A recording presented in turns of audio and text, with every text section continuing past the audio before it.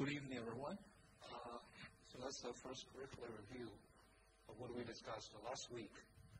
Uh, I think at the beginning of uh, uh, last lecture, uh, what I did is to think about a random experiment like this. We flip a, a coin.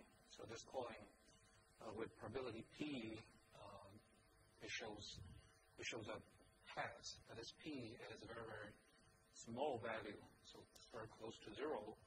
So in order to see a number of heads, we may have to flip a lot of times, right? So uh, we flip in such a way that uh, p is extremely small and n is large. n is the number of flips, right? So then uh, as long as this n times p uh, keep fixed, so we let the product of n and p uh, keep fixed, and we call it lambda. Then uh, we argue that as p uh, converges to zero, then the number of heads among those n flips will converge to uh, Poisson variable, right? So that's a that's how we introduce the Poisson distribution. And also then uh, we move to a new topic, which is this uh, uh, continuous distributions, right? And then uh, we repeat the same uh, experiment. Then uh, we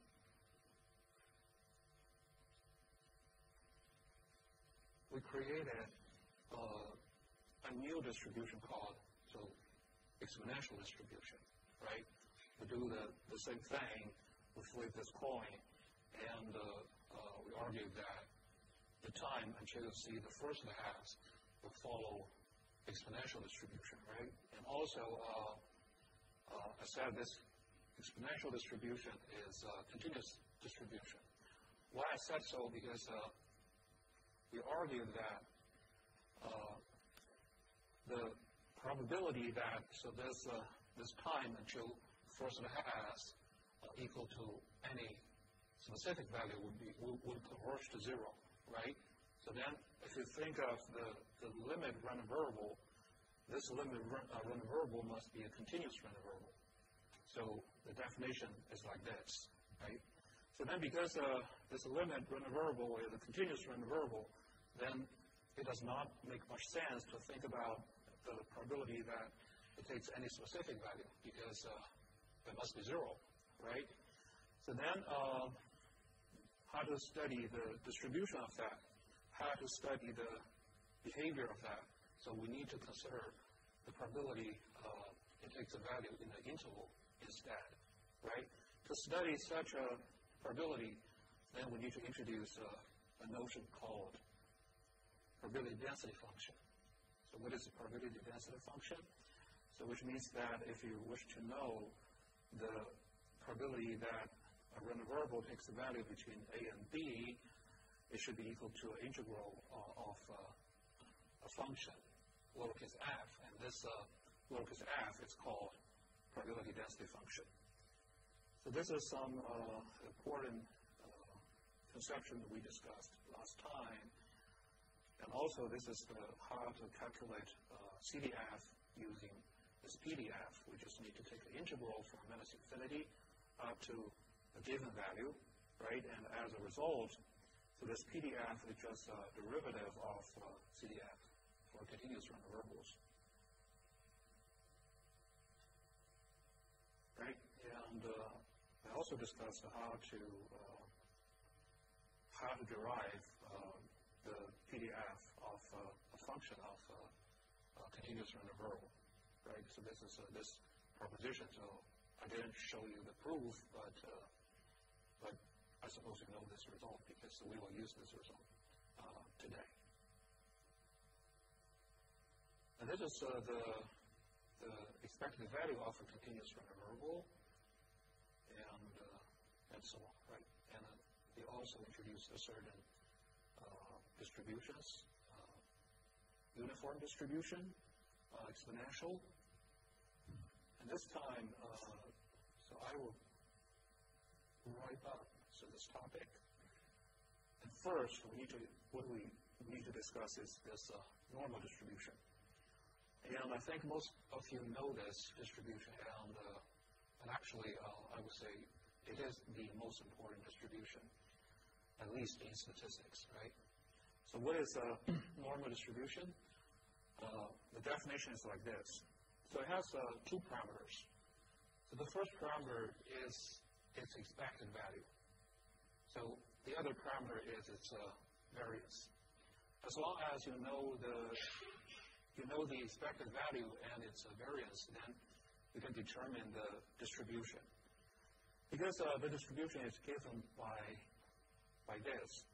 So the the PDF of a normal random variable with expected value mu and variance sigma square is given by this expression.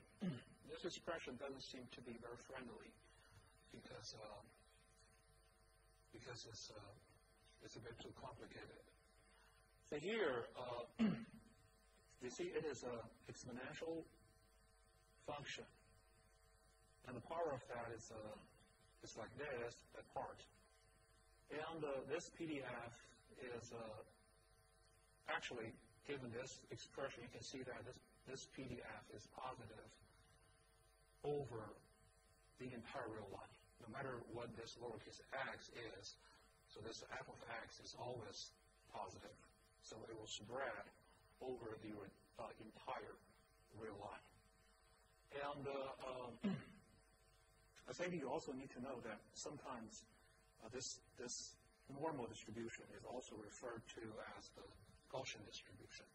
So maybe uh, from now on, I mean, use a normal or Gaussian distribution uh, interchangeably. So they mean the, the same thing.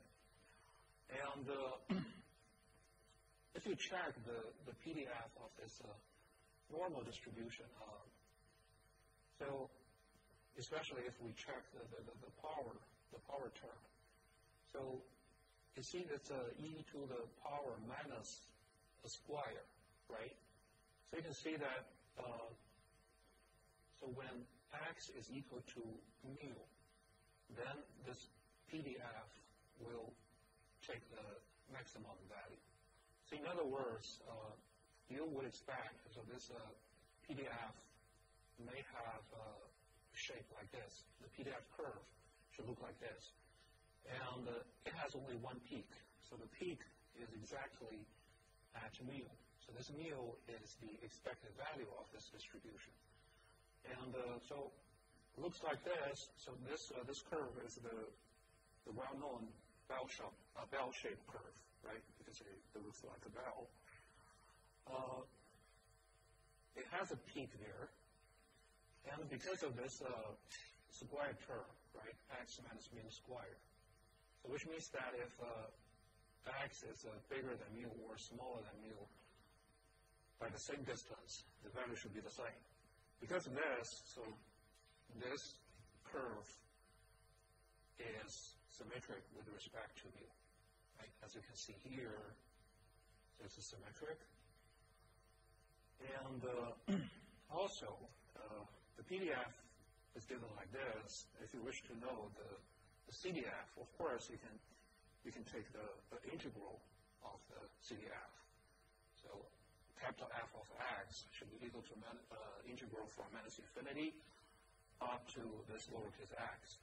But unfortunately, uh, this expression does not have a uh, closed form expression. So we cannot further simplify that. It just looks like that. Just uh, no closed form. It, it, it, has to it has to uh, remain as a, as an integral. This this is something um, troublesome, at least sometimes. So this is the uh, CDF.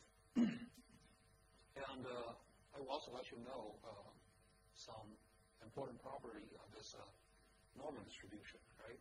As, as, we discussed just now, so this uh, the, the PDF curve uh, looks like a bell, right?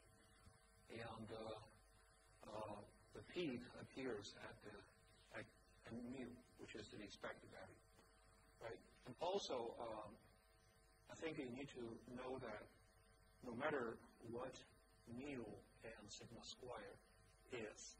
So again, so this sigma square is the, the variance, right? If sigma square is the variance, then it means that the, the square root of that, so which is sigma, sigma is the standard deviation. So no matter what mu and uh, uh, sigma is, the probability that, so there's the normal random variable x takes the value between mu minus sigma and mu plus sigma should be around uh, 68%. So what does it mean? It means that no matter what this mu is, the sigma is, the area below this curve between mu minus uh, sigma and uh, mu plus sigma, so this area should be uh, 0.68, 68%. So if we consider the probability that this random variable takes a value between uh, mu minus 2 sigma and mu plus 2 sigma, so which means from this point to this point, uh, the probability is more than 95%. If we consider the probability that it takes a value uh, between, so between the distance of at most six sigmas, so which means from mu minus three sigma up to mu plus six, uh, three sigma. So the probability is uh, 99.7%, so, which is very close to one, right?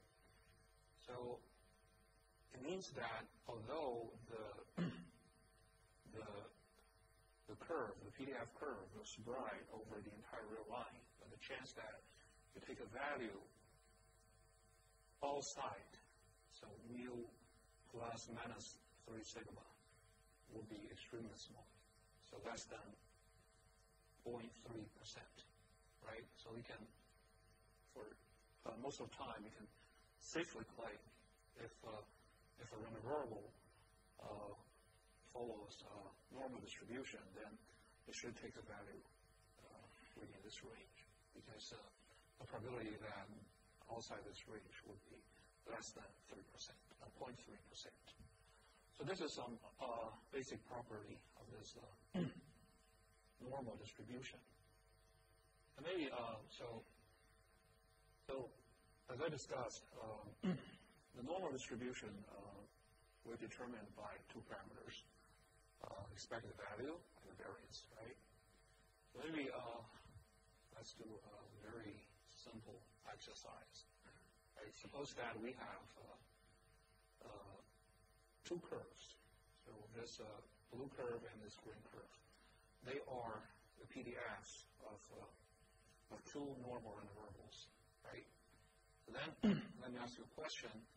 Uh, for those two random variables, so blue one and green one. So which one has the larger expected value?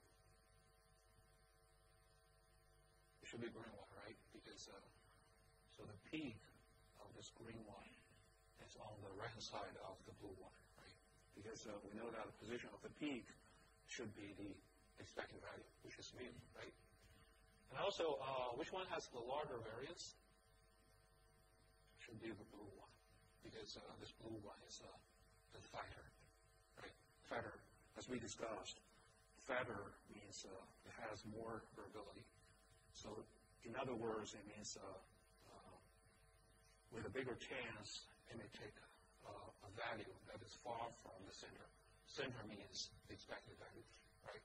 Because the blue one is fatter, then it should have a bigger variance. But then uh, Another uh, important notion is called standard normal distribution. So what is a standard normal? Uh, standard normal means uh, so this uh, normal random variable has uh, expected value zero and the variance one. Zero and one. So that's a standard version of the normal random variable. So if it is a, a standard normal random variable. So usually we use uh, this capital Z um, to to denote that. So this Z for standard normal.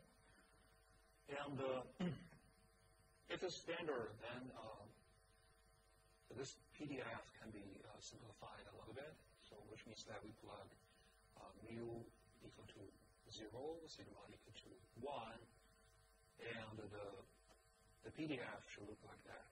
And we use this uh, uh, phi for the uh, CDF of the standard normal, and we use this a capital phi for the CDF of standard normal. So it looks like that. And why why we need to introduce uh, the standard normal distribution? Because uh, uh, normal distribution has a very nice property. So the property is, uh, is like this. So if I give you an arbitrary normal random variable, so which has uh, expected value mu and uh, variance sigma squared. So it's uh, arbitrary one. Then by a simple linear transformation, so we can make it into a standard normal uh, random variable. So how can we do that? If x minus mu uh, divided by sigma, then so this thing, as I said, after a very simple linear transformation. So this thing actually is a, is a standard normal random variable. So because uh, any uh, any uh, normal random variable can be converted into standard normal, so then which means that if we know the behavior of standard normal very well, then we can use that to to to know to know the behavior of a, arbitrary normal random variable, right? So especially because uh, so because we know that the CDF of a normal distribution does not have a closed form expression. So which means that if you wish to know the probability that this uh, random variable takes a value within a range or an interval or some stats, then numerically it could be difficult. It may not be very convenient for you to evaluate the, to, to, to get the probability, right? As I said, because uh, if you wish to do that, you need to handle this, uh, this interval. Of course, if you have uh, a computer and on this computer you have some numerical software such as MATLAB or uh, Mathematica, a, it's just a piece of cake. So, or nowadays you can you can search online. There's a a lot of online tools for you to to compute the uh, integral like this. But say 20 years ago, 30 years ago, it may not be that convenient, even if you have a computer it could be difficult for you to, to get the, the number. Then, how, how, how did it, how did people do if they wish to calculate something like this? Actually, they just uh, created a table called standard normal table. So in this table, they just list uh, the value of the CDF of uh, at a lot of positions. And uh, if you wish to know the CDF of an arbitrary normal uh, distribution, what you need to do is first you need to convert this arbitrary normal distribution into a standard normal distribution. And then you look up this table to find out the value of the CDF at certain values. So I will show you an example for that and you will you will know how to how to handle this. So uh, then uh, so let's uh, let's come back to this uh, uh, proposition. So this is a so this proposition claims that if uh, x is an arbitrary random normal random variable, then x minus mu this mu is its uh, expected value. And divided by uh, sigma should be standard normal. Then how do we how do we show that? to show that, well, first, uh, we need to we need to argue that. So the the PDF of this guy. So here, maybe we just call it Z. The PDF of this guy will follow the standard normal uh, so which is given by this, right? Now, how can we do that? We just uh,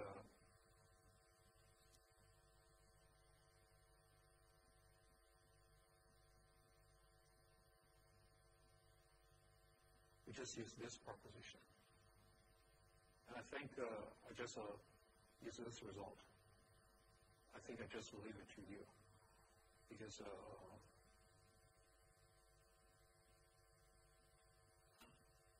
the details is here, just like that. Uh, I think that maybe uh, it'd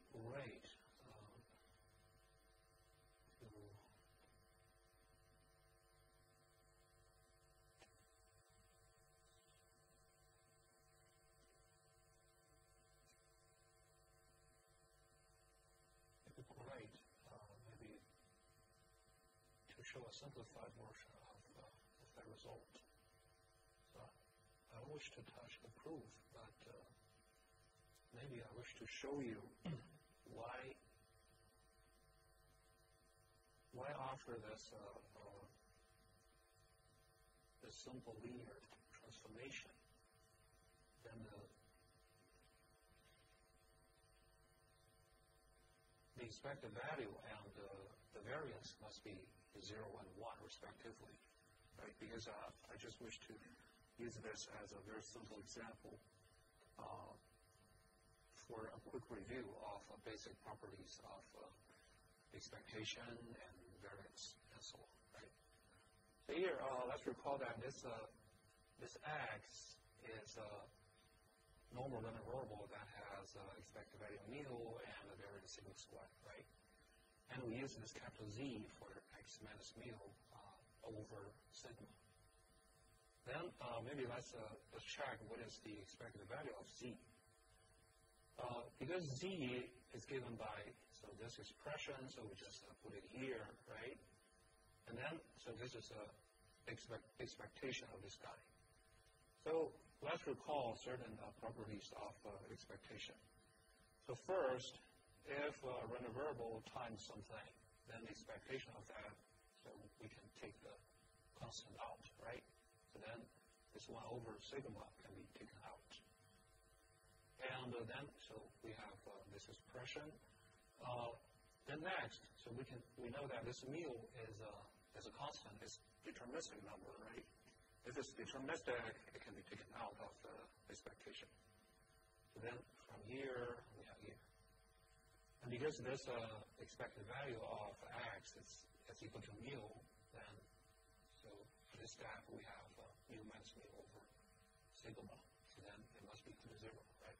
So here you can see, because of the linear linearity of expectation, so then the expected value of z must be equal to zero. And then uh, let's check the variance of z. What is that? Because z is given by this expression, and uh, it's a random variable over sigma, right? So let's recall that we, we know there's a uh, there is a property because uh, the variance is just uh, x minus mu squared, right? Expectation of x minus mu squared. So the variance of ax, if we take this a out, then a will become a squared. So because of this, if we wish to take this uh, 1 over sigma out, then it becomes uh, 1 over sigma square times v of the variance of x minus mu. And also we know that, so the variance, the variance of x minus mu, because mu is a constant, it should be equal to the variance of x, right? Because uh, as we argued, so the distribute, if you compare the distribution of x and distribution of x minus something, you just shift the entire distribution. The variability will, not change, right? And because of this, so the the variance, now we have this expression. We know the variance of x is just sigma squared. So then you see we have this expression which is equal to 1. So you see the variance of z must be equal to 1. Right?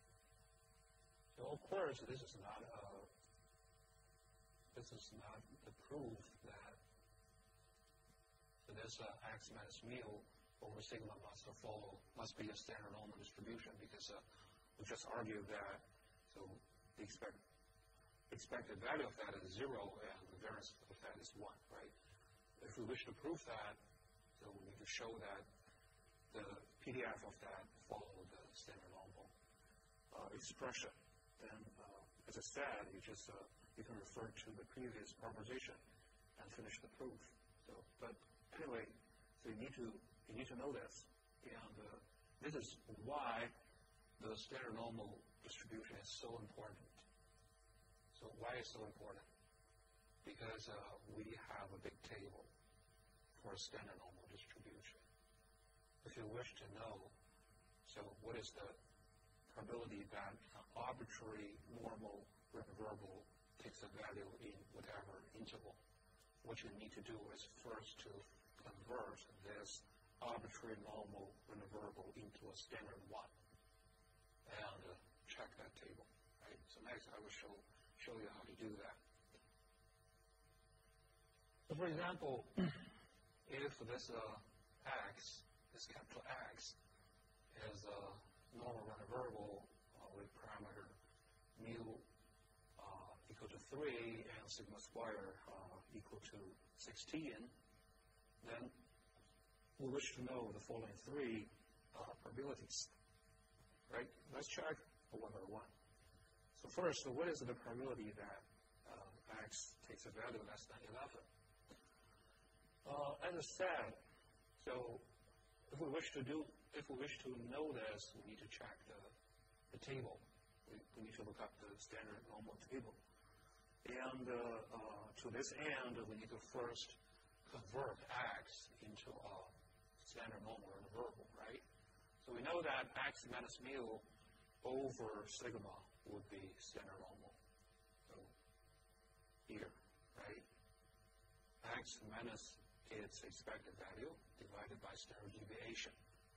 So this z, if z is defined in this way, then z is standard normal.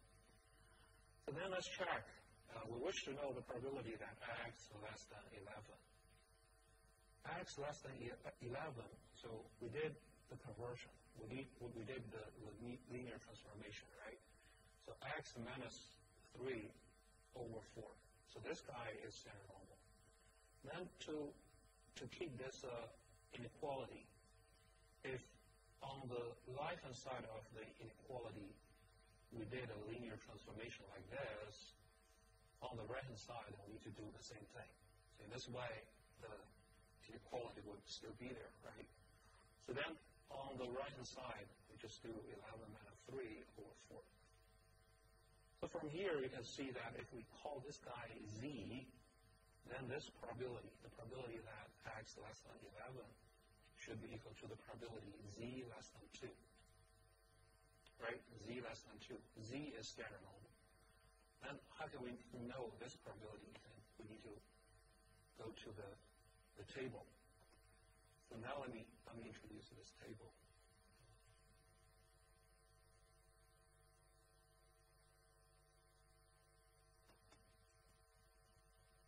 So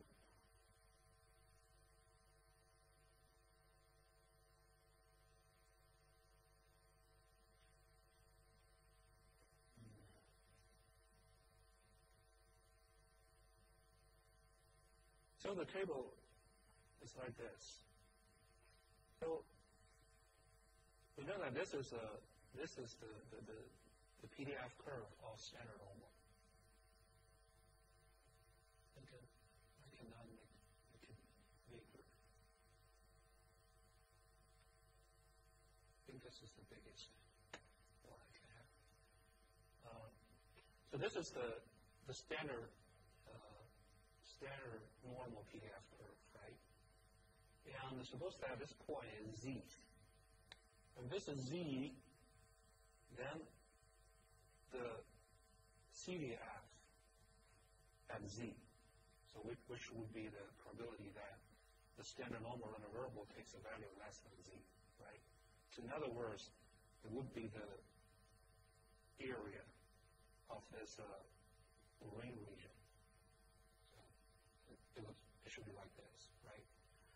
So uh, in this table, it just lists list the, the, the area of this uh, green region for different values of z. So for example, we wish to know what is the what is the CDF, what is the probability the standard normal takes a value less than 2, right? 2, where is 2? You see here, 2, so this, this column is for different values of z. 2 is here, 2.0. And uh, so it takes a value for, for z up to two digits after the, the dot. So then this is a, so for example, the, the first value, so that's uh, 9772 is for 2.00. Next value is uh, 0.9778 is for z equal to 2.01 and so on, right? So actually you see the probability that the standard normal random variable takes a value less than 2 should be equal to this, uh, this number, 0.9772. Just uh,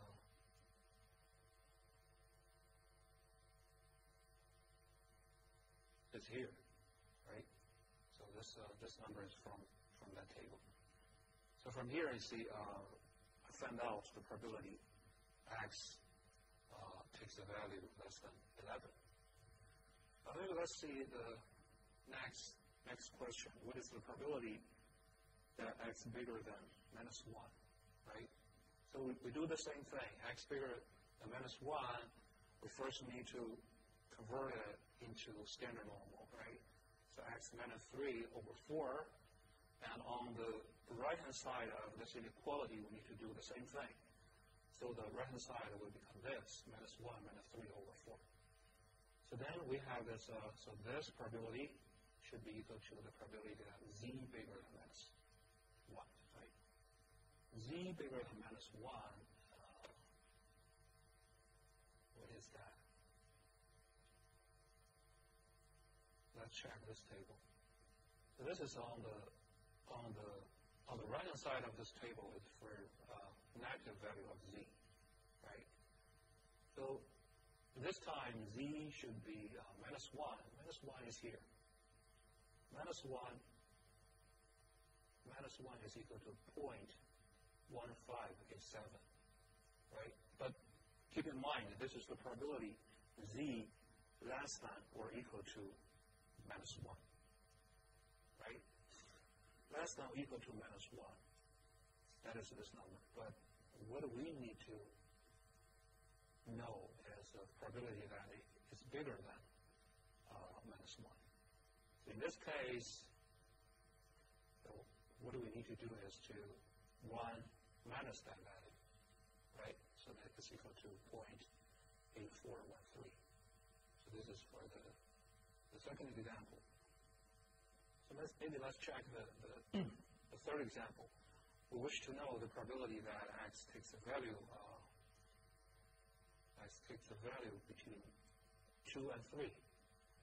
So then we do the same thing. We do the uh, conversion, and for inequalities, uh, we do the same thing. So on the left-hand side, it will become 2 minus 3 over 4. On the right-hand side, it becomes uh, 7 minus 3 over 4. So then you see that this probability is equal to the probability that standard normal takes a value between minus 1 quarter and 1. Right? So it is a probability uh, over an interval. How to calculate that? So we discussed in the past. So if uh, for, for an interval, it should be just equal to the CDF at here minus the CDF at here, right? So uh, it looks like that. So then we need to check what is the probability that z takes a value less than 1, what is the probability that z takes a value uh, less than minus 1 quarter. Then uh, you, you look up the table you, can, you can find out the, the numbers. So uh, I think uh, I may need to, I think I, I, I will mention that because uh, because we know that is, uh, this normal distribution is, uh, is symmetric with respect to the to, to mu, right? For standard normal, mu is zero. So which means that for standard normal, it's, uh, it's symmetric with respect to to zero. And, and uh, you know that for, for this table, and on the left hand side is for positive values of z, and the negative uh, on the right hand side is for the negative values of z. Actually, so you can check that those values are symmetric. So indeed, you don't you don't have to use uh, both tables, the, the left left panel and the right panel, because uh, they're symmetric. Actually, as long as uh, you know one table, then the other one just uh, you can you can derive the values on the other one. But for convenience, for convenience, uh, sometimes we prefer to keep both ones, right? So, for example, maybe maybe let's let's think of this. Uh, uh, let's check. So, for example, if uh, if uh, if we take this uh, z to be to be one, okay? So we know that in this table if z is equal to 1, let's check what is uh, the value. It's a point uh, A413, right? It's the probability that standard normal takes a value less than 1. Then let's check the, the, the value, the value at minus 1. At minus 1, it is equal to, this, this guy is 0.115 8, 7. 1, 5, 8, 7. What, what does it mean? So this 1, 5, 8, 7, the other one is uh, A4, 1, 3. If you add them together, you have 1, right? Why is so? Maybe you just, uh, you just need to check, check those, those two pictures so if this is uh, if this is z, if this is one, then the probability that it takes a value less than one is uh, the area of this uh, this uh, blue region, a green region. I don't know whether it's blue or green, but it's uh, this this region. And if this uh, if z is minus one, then it should be so this region, right? But if you check this uh, picture you can realize that so this uh, the area of this green region on the right hand side should be equal to this uh, orange region, right? Because of symmetry.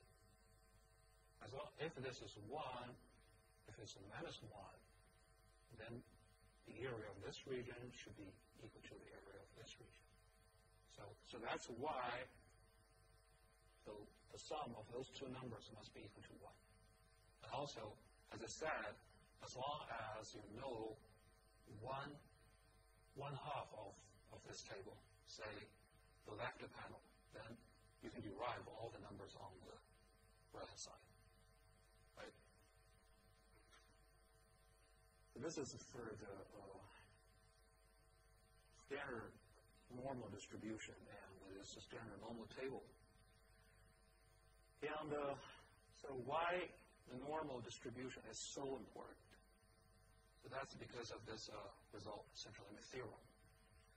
So I think I mentioned in the past that there are two theorems most important in the entire body of uh, probability theory.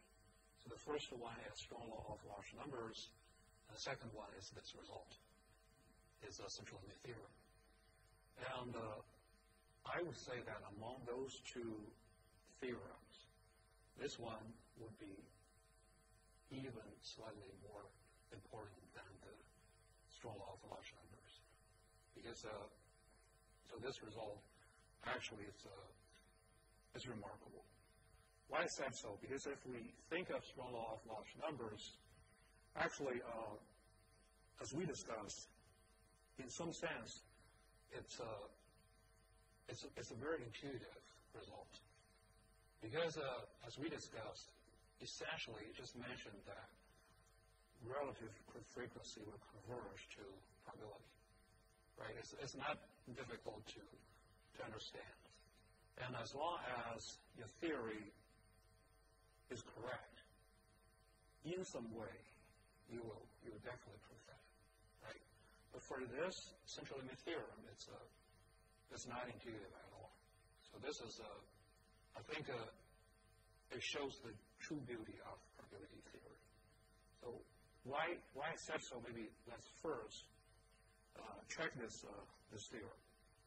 So this theorem says something like this. We consider a sequence of IID random variables. So let me remind you what is IID. IID means independent, identically distributed, right? Independent means uh, uh, those random variables, they have nothing to do with each other. So what does it mean? It means that no matter what values x1 takes, it won't affect the distribution of x2, x3, and so on, right? No matter what part these random variables takes whatever value, it won't affect the other, other, the other random variables distribution. So they have nothing to do with each other. So that's the meaning of independent. I think uh, later today, I will give you the formal distribution of independence of uh, random variables. Identically distributed means they have the same distribution. So if they have the same distribution, they should have the same expected value. They have the same variance, right? Uh, central limit theorem says something like this. So we consider this x bar n. What is that? It's a sample mean. Sample mean means we add x1 up to xn together divided by n. The sample mean, right? We're familiar with this guy. And then, so we consider something like this. So, so this uh, square root of n times sample mean minus mu divided by sigma. What is this? How do I understand? So this expression. So, so then first let's recall strong law of large numbers. So what is strong law of large numbers? Strong law of large numbers says that this x bar n, so this sample mean, will converge to the expected value, which is mu, when n is large, right? So sample mean will converge to expected value. But as we discussed, this sample mean, even if it will converge to a deterministic number, which is the expected value, it is still random, right? So it is a, a sum of n random variables, and we take the average. So as n goes large, we expect this guy will converge to a number, deterministic number. But anyway, it's still random. But you can expect as n goes large, the random variation of x bar n will be smaller and smaller, and smaller, right? So what is central limit theorem? Central limit theorem wish to study, so there's a remaining part of randomness. But as I said, because uh, this randomness from the sample mean will become smaller and smaller because it will converge the expected value. How can we how can we measure that when it is so large?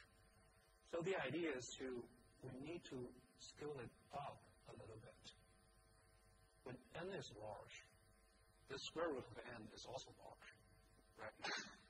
So if we of this x bar n minus mu as the remaining randomness, random part of the sample mean, then we scale it up a little bit. The time is, so, so this random part should be scaled by square root of n so that it would not be too small it would behave like a normal variable, right? So that's the idea. Then divided by the standard deviation. Because standard deviation is it's just a standard normal, uh, normalization way, so it, it doesn't really play an important role. But the the really smart idea is to scale, scale it up by the square root of n. So in this way, this square root of n times sample mean minus mu will behave like a, a regular in this way, we can standard the randomness of that, right? It won't converge to zero. This central limit theorem says that, so this guy, when n is large, the this guy's behavior will be closer and closer to a standard normal random. So how can we see that? So first, so we take this expression as a random variable, right? If this is a, if you think of this as a random variable, then what is this probability? This probability of this random variable takes a value less than or equal to x. What is that? It's the CDF, right? It's the CDF of this guy. So central limit theorem says that when n goes large, the CDF of this guy will converge to a standard normal CDF at all lowercase x at each point. So the CDF of this guy will converge to CDF of a standard normal. So, which means that the distribution, the distributional behavior of this thing will be close to a standard normal interval. Right? So, again, it means that if we wish to know the remaining randomness of the sample mean, so we first remove the expected value. So as I said, when n is large, we would expect, so this part, to be very small. If we wish to treat it really, really as a random variable, we need to scale it up a little bit so that we can better observe that, better study it. How to do that? We just uh, times square root of n of that. And then, as n goes large, so this guy would behave more and more like a standard normal random variable, right? So why I said it's a remarkable result? Because uh, here you know that it's a x1, x2, then they follow an arbitrary distribution. It could be uniform, exponential, or whatever distribution. We don't know the name, right? And then, so they may have, uh, you know, the distribution could be could be anything, as long as they have the expected value, as long as, as long as they have a finite variance, then no matter what the, what the distribution is, so in the end, so if we think of the randomness from the sample mean away from the expected value, so as long as the sample size is uh, sufficiently large, then the random part should have uh, a distribution that is very close to normal distribution. Right? So this is remarkable because uh, let's think of uh, what kind of insight we may derive from such a result. So you may think, uh, what, does this symbol mean? Means. So maybe we can think of uh, some random phenomena, which can be the value of uh, something that can be the effect of a lot of uh, factors. So in some sense, it can be taken as a sample mean. So for example, you you take an exam? So this exam has a, a lot of questions. So for each question, with certain probability, you can have uh, you can make it correct. Otherwise, it could be wrong, right? Then you think of uh, your score. If you have to answer a lot of questions, the score so will be the sum of the score of each question, right? So then, your support, if you treat your support as a random variable, then it's a, it's a sum of a lot of random variables. And this, so if you think of this, uh, so this, this, this, this sum, then according to this result, so you will see that, so this, uh, this, this sum will be very likely that, so to be distributed like a bell curve, Because, uh, so this random variable is uh, affected by a lot of random factors.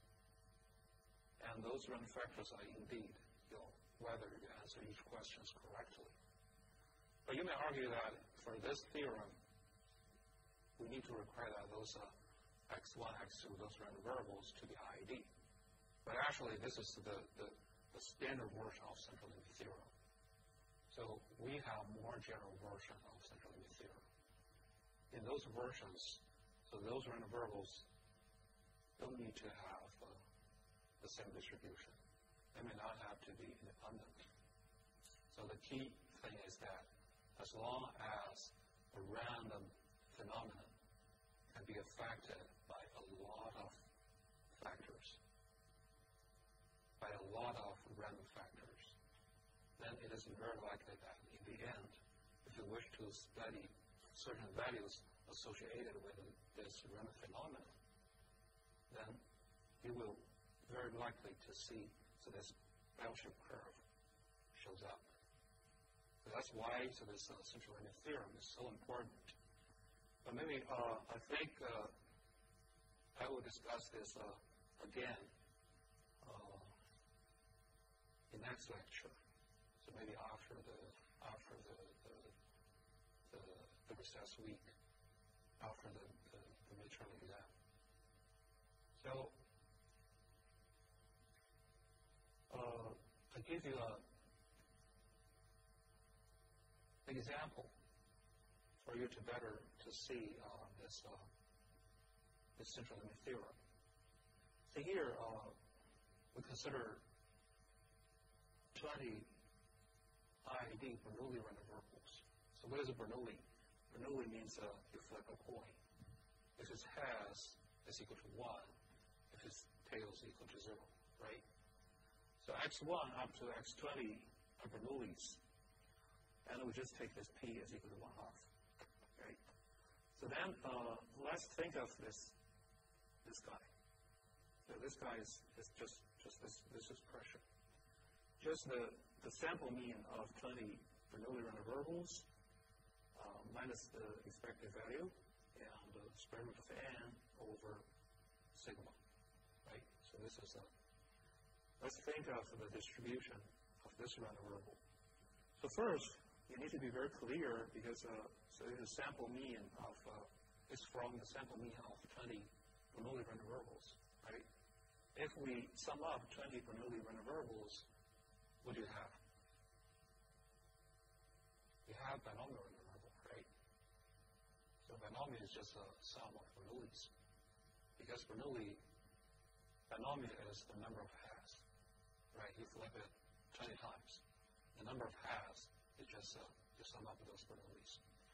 So it's actually because uh, we know the distribution of uh, the sum of them, and actually we just uh, just uh, uh, then we know the distribution of the sample mean. And this is just a very simple linear transformation. So then we just shape the, the position of the distribution, scale it up a little bit. So then we can derive so this uh, histogram. So this are uh, those blue bars. So what are those blue bars? You can call it a probability mass function, but not really so.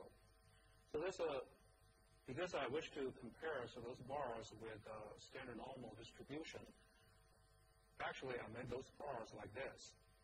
So first, so for example, let's let's consider so this uh, this bar at zero. So the, the height of this bar is, is not a probability that so this random variable takes zero. But instead, the area area of this bar is the probability. So this guy takes zero.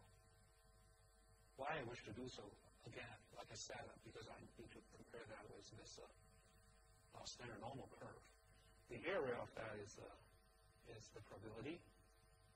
And uh, for each bar, because uh, so this, this thing will take 21 different values, right? So then from the smallest possible value to the largest smallest value, we divided the range into 21 equal 21 intervals with, with uh, equal length, right? So the width of each bar is equal to that length, that equal length, right? So then you see, because uh, the meaning of uh, the standard uh, of the PDF is that like that, the area below the PDF should be interpreted as a probability, right? So accordingly, if I draw a picture like this, the area of the bar should be interpreted like a probability. So then I just compare so this thing with standard normal curve. So you can see that the shape of the boundary of the bars looks very close to the standard normal curve PDF, right? So that's how the how the bell shape shows up uh, through 20 Bernoulli variables, right?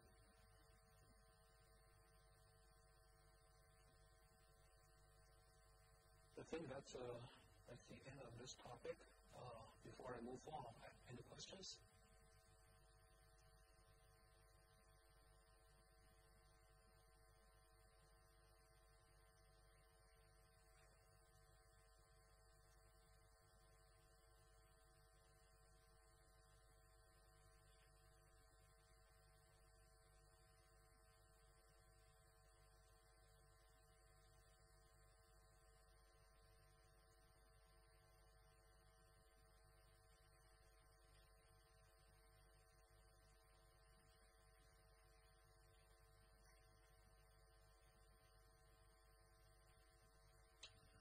So then, uh, so that's uh, let's start a new topic.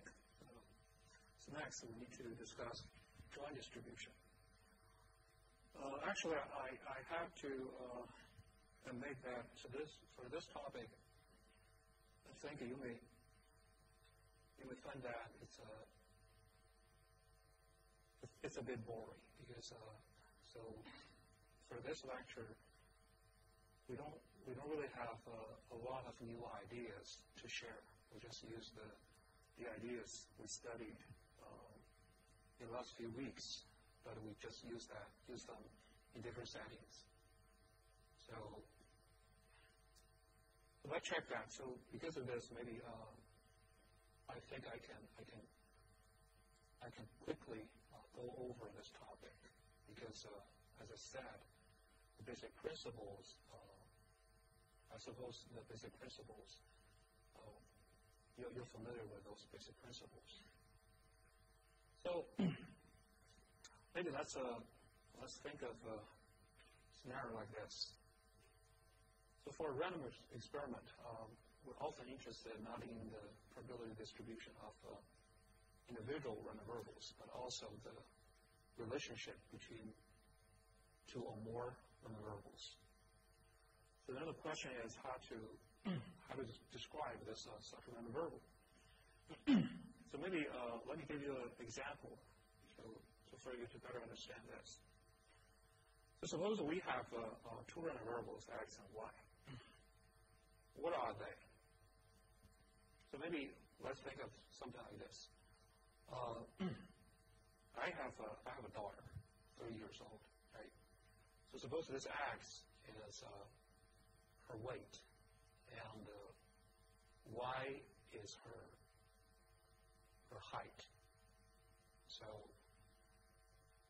so then, um, of course, so you don't know my daughter. So, so then the value of x and y are uncertain for you.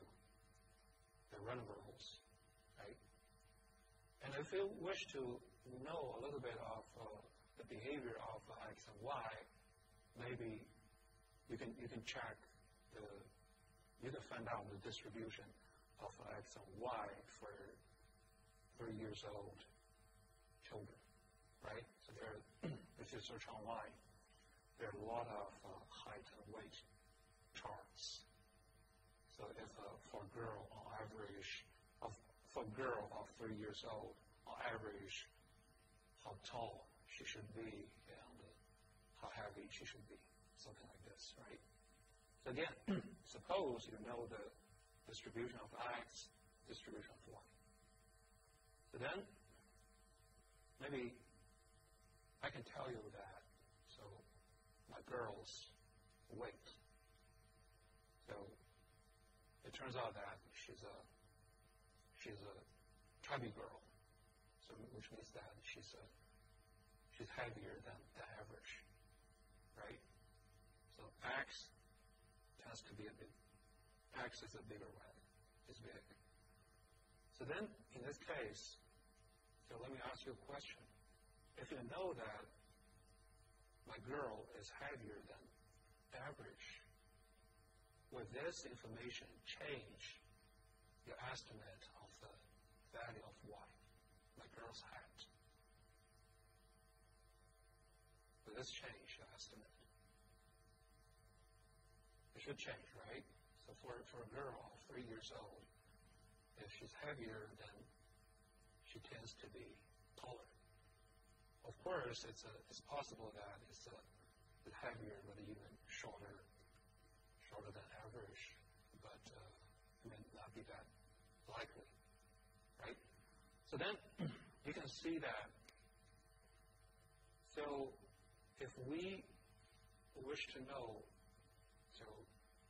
two variables, and uh, if you happen to know some information about one variable first without knowing anything about the other variable.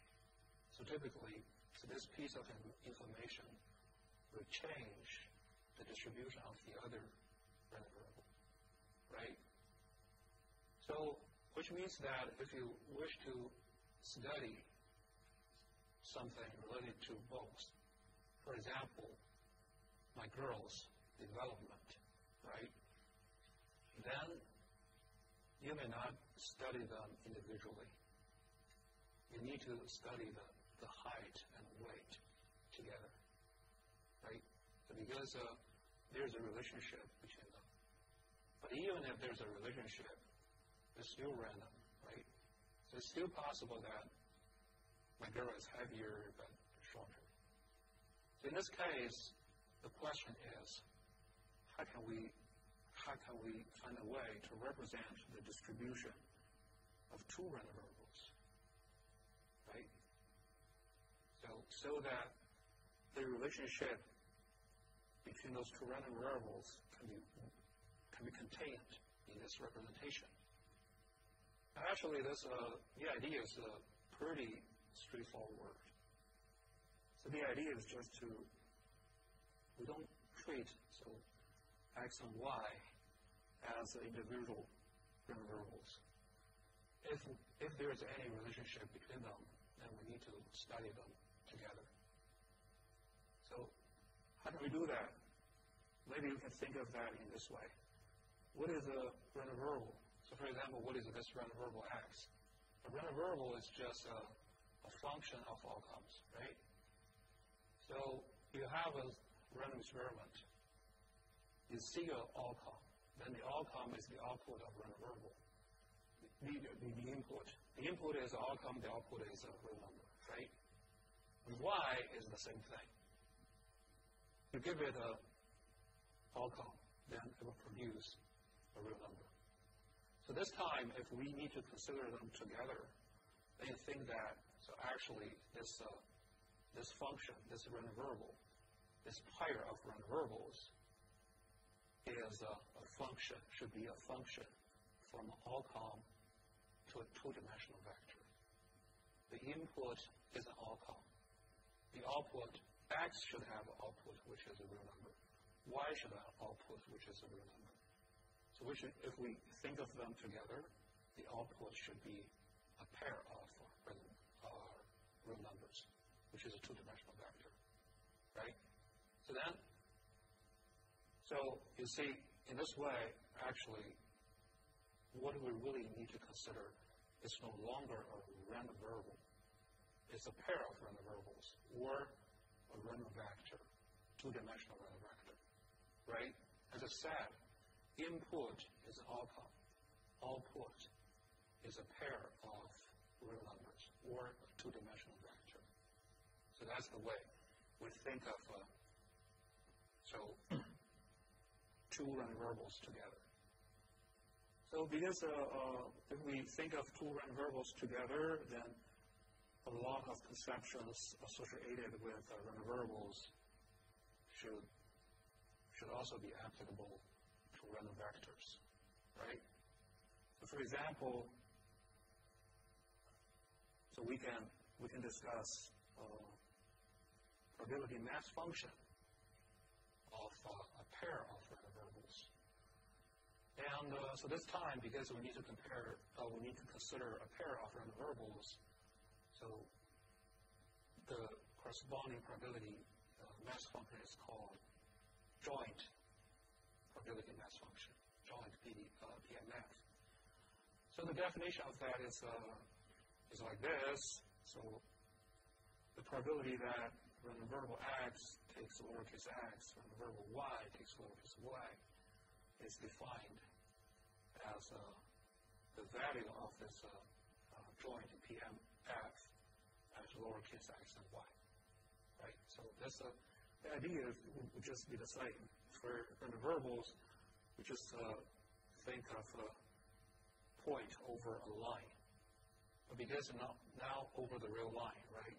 And now because uh, we have uh, two random variables, the output is a pair of uh, real numbers. So accordingly, we need to consider possible points over a plane, two-dimensional stuff, right? Or plane. So, but the joint PMF is still a PMF. So all the properties should still be there, right? So for example, at any point, it must be big, uh, so this PMF must be bigger or equal to zero.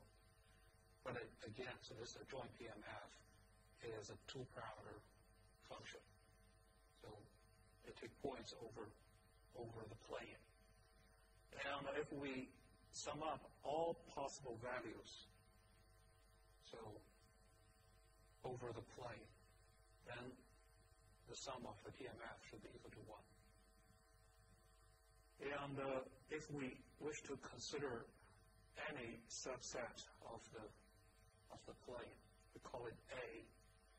So the probability that so this uh, pair of random variables takes the value in A. How to calculate that? We just think of possible values within A, and sum of them, sum, and sum the corresponding mass function uh, mass function at those points together, and we have the so this probability. That's the idea of uh, joint uh, probability mass function. So maybe uh, let me give you a very simple example. So this example is uh, like like this. So I have lunch at Techno Edge uh, on work days. So so in a meal, if uh, I use X for the price of uh, for the amount of money I spend on food, and Y be the, the amount of money I spend on drink. So then, uh, actually, the follow the following joint uh, distribution probability mass uh, function like this. So, for example, I can spend either two or four dollars on food and one or two dollars on drink. So with the probability 0.6, which means most of the days I just uh, spend $2 on food and $1 on drink. So 6% of days. And sometimes maybe uh, I'm more thirsty. So then I could spend, say, $2 on drink. So that's uh, 50% of uh, days. And also, it's possible that on, on that day, uh, I'm hungry, which means that I need to spend more on food. But if I spend more on food, I, I have to drink more, right? So then if I spend $4, so then I lost to spend $2. So, so the probability of that is uh, one quarter. But actually, uh, I think uh, I put up this example maybe five years, more than five years ago, maybe seven years ago. So you can see that at the time I was willing to spend around close to four for a meal. Nowadays, I think almost eight dollars, ten dollars. Right. So then, well, anyway, this is just a just an example. So from this example, uh, very simple example, let's think of the question like this. So what is the probability that I spend $2 on food? So what is that? So because uh, all the possible cases are here, so this one is, a, I think is pretty simple. I spend $2 on food. Actually, there are two cases, right? So I can either spend $2 food and $1 on drink, or $2 on food and $2 on drink, right? So if, if I wish to know the probability that x takes value 2, I just need to sum up. So this number and this number together. So then I have, uh, so this problem, uh, this, this uh, probability is just 3 quarters, right? So this is, uh, this is simple, but, but let's, let's check this table, right? This table, I wish to know the probability that x takes value 2. x takes value 2 corresponds to this row, right? If I wish to know the probability of that it takes value 2, what I need to do is just to sum up the, the numbers in this row, right? Because in this row, it covers all all possible cases for, for taking different values of y. So then if I sum up this row, I have the probability that x takes 2, right? And similarly, if I wish to know what is the probability that I spent $2 on drink, $2 on drink, the two possible cases, so this one and this one, right? So it's a so this one means I spent $2 on food and $2 on drink. This one means $4 on food, $2 on drink, right? So what I need to do is just to sum up uh, those two numbers. So I sum up the column corresponding to y equal to 2, right? So if we wish to know the distribution of x, I sum up a row. If I wish to know the distribution of y, sum up a column. Right? That's, a, that's very simple. So from here, actually, you can see that if you know the, the joint distribution of uh, two random variables, you can use this to re recover the distribution of each individual random variable right? What you need to do is just to sum up rows or columns, right? And uh, this idea is just uh, corresponds to the, the notion of marginal distribution. What does this marginal distribution mean?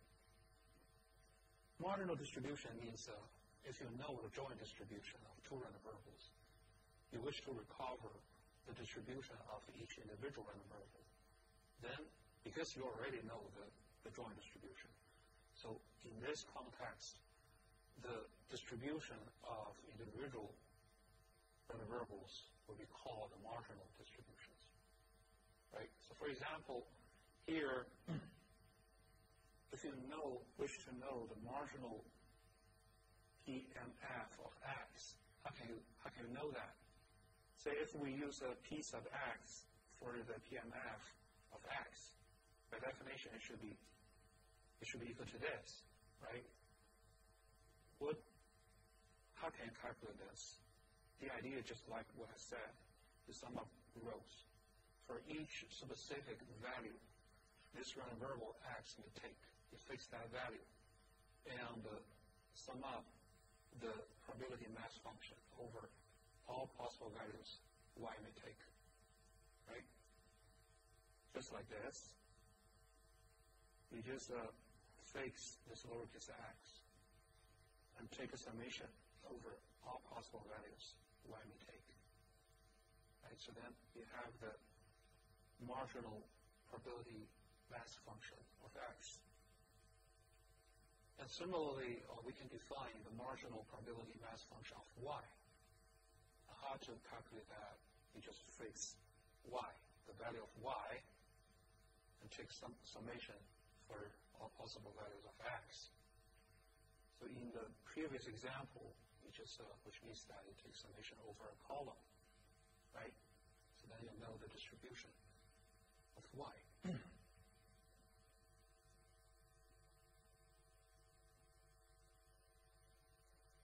Actually, uh, so this idea also applies to the uh, to continuous random variables, right? So if uh, x and y two continuous random variables, then we can define the joint PDF. So what is a joint PDF? Joint PDF is just a, a function of two parameters. So if you wish to know the, the pair of random variables takes the value. Because it's a pair, then again, it must take a value over, over a plane. If this A, capital A, is a, is a set or a region in a, in a, in a plane, then so a, the probability that it takes a value in this region should be equal to this uh, uh, integral of this joint PDF over that region. So that's a that's the, the idea of uh, joint PDF.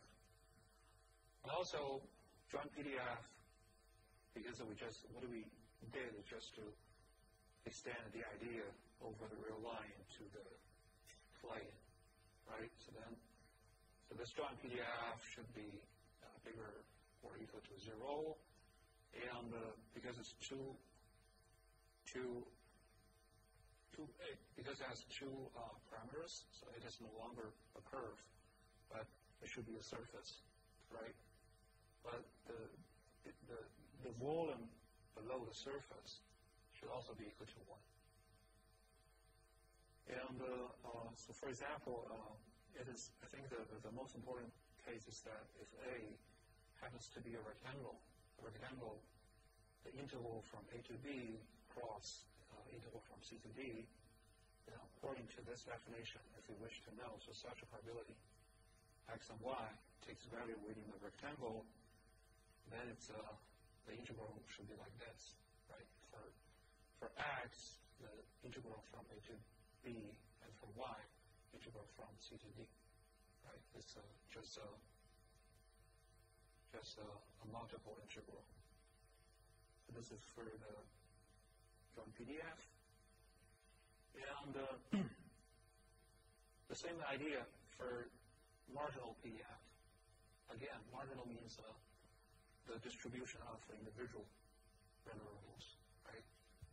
So if you know the joint PDF, I can calculate the marginal PDF. So again, it's just fix fix the value of x and uh, sum up all possible values for y. Because uh, this is continuous case, sum up means uh, take an integral, right? Integral, all possible values means the entire from minus infinity to infinity. You take the integral from minus infinity to infinity. So for a fixed value of y, and take integral for a fixed value of x, and takes integral for y. Right? And this is a for marginal uh, density of x, for marginal density function of y, the same idea, right?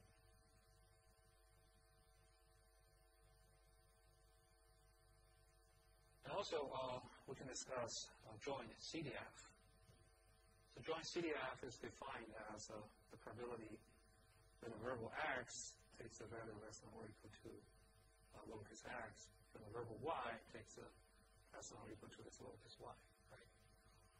And uh, how can we derive the marginal CDF? Marginal CDF, again, by definition, so for this for this thing should be probability where the variable x takes the value less than or equal to lowercase x, right? Then how can we how can we get this? By using so joint CDF. So here, so this means that y can take any value, right? x takes a value less than or equal to this lowercase x, and y can take any value. Because y can take any value, and just uh, put it here. So in this way, y, so y less than infinity, which means essentially means they can take any value. So in this case, because uh, it can be expressed in this way, if we plug this expression into the definition of joint CDF, you see that it is simply equal to the joint CDF like this, f of x and infinity? And for the marginal CDF of y, which is uh, x could be anything, corresponds to the f of infinity lowercase y. Right? So this is for joint uh, CDF. And also, um, relationship between uh, CDF, joint CDF and joint PDF. Because uh, joint CDF is defined in this way, right? And uh, so then in this way, if we wish to calculate so this probability by using joint PDF, just take double integral, right? Minus infinity to lowercase x, minus infinity to lowercase y. So we have this result. And because uh, the joint CDF is just uh, a double integral of uh, a joint PDF, then correspondingly, so the joint PDF is just a second order derivative of uh, joint CDF. We have this result. Think it's a, a pretty standard. So questions? no questions, let's have a, a two minutes break. Uh, so next, we will discuss uh, independent random variables. Uh, to introduce uh, independent random variables, uh, maybe let's first recall what is the definition of independence between two events. So for two events, A and B, uh, they're said to be independent if the conditional probability of A given B is equal to the unconditional probability of A, right? So this is uh, the definition, and uh, we also introduce a, uh, equivalent definition of this. So, which means that as long as the probability of A in respect to B is equal to the product of their uh, respective pro uh, probabilities, so then A and B must also be uh, independent. And actually, uh, I think from now on we will use uh, so this this one as the definition of uh, independence between two events because it's more convenient. So now let's let's let's introduce the definition of independence between two random variables. So we consider two random variables x and y is said to be independent if for any two sets of real numbers, S1 and S2. See here, S1 and S2, they're two sets of real numbers. And it could be arbitrary sets of real numbers, right? The set of real numbers, then, so let's consider two events. The first event is this one. X takes values in S1. Right? This is an event. The other event is Y takes value in S2. So then let's check this expression. This expression on the left-hand side is the, the intersection of these two events, right? Again, the comma means and, means intersection. So the left-hand side is the intersection of those two events. And the right-hand side is the product of the probability of these two events, right? So then you see that this expression, the meaning of this expression is that this event and this event are independent, right? They are independent means that, so if you know y takes the value in S2, it won't affect the probability that x takes the value in S1, right? And also, you see that those S1 and S2 are arbitrary. Can be anything, right? So essentially, because they're arbitrary, so the definition, so this definition, the meaning of this definition is that no matter what value x takes, it won't affect the event that y takes whatever value. Right? So you see, this is the definition of uh, independence of two random variables. So the meaning is, is exactly like uh, what I what I told you in the past. So it means that whatever value x takes, it won't affect the value that y takes. right? So, But of course, this is the, the, the rigorous definition. So this is the, the, the definition of uh, independent variables. And uh, you see that this definition is, uh, is pretty strong because uh, if you wish to check the independence between two random variables according to this uh, definition, then you need to you need to check a lot of sets S1 and S2, right? Because S1 and S2 are arbitrary sets of real numbers. So most of the time, it's, uh, it's too difficult, right? But this definition is very easy for you to understand. What does independence between two random variables means?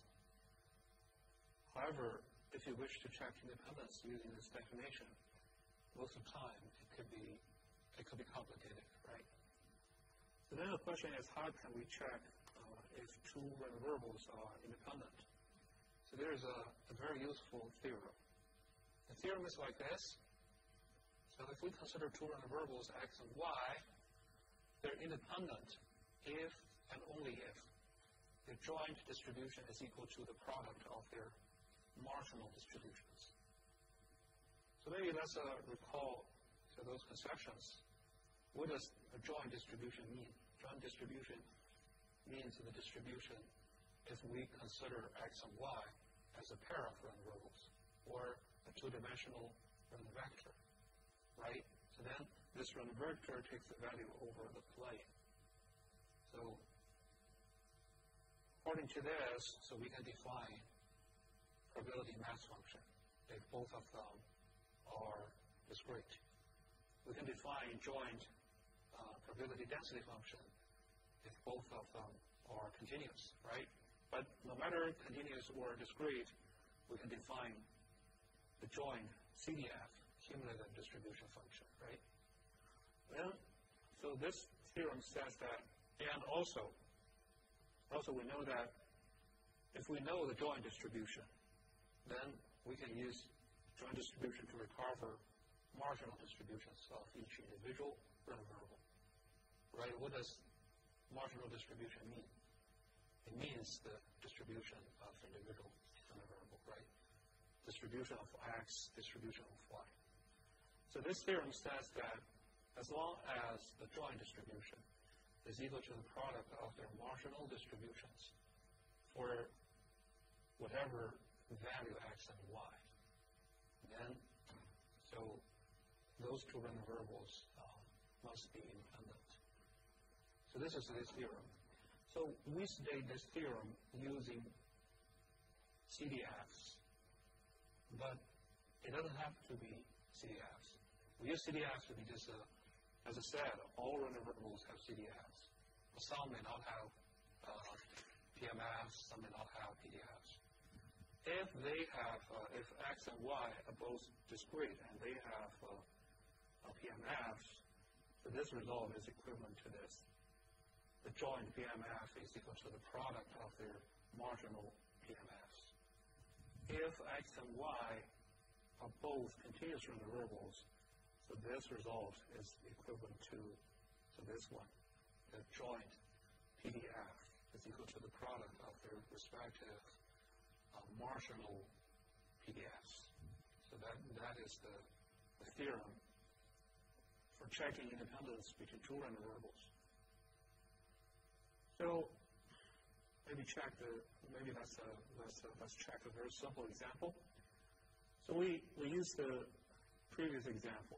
So this is a, a discrete case, right? So I may spend two dollars on four dollars on food, one or two dollars on, on drink. So the question is, in this case, are x and y independent? So if a if you think of this uh, example a little bit, you may, you may recall that I said when I eat more, I must drink more, right? So which means that